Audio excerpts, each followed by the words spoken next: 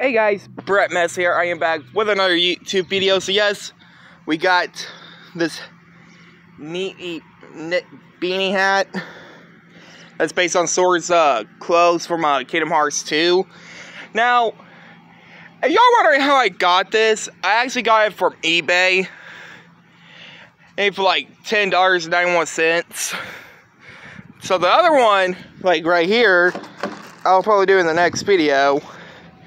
So, yeah, um, anyway, so again, this is actually based on his, uh, outfit from Kingdom Hearts 2. I'm sorry about I'm doing this outside because I feel like doing this outside. So, um, yeah, so what's really weird about this is that made by BioWorld or, or nothing. I looked this up on Google, and it doesn't say BioWorld made it or not. But anyway, guys, because like, comment, subscribe.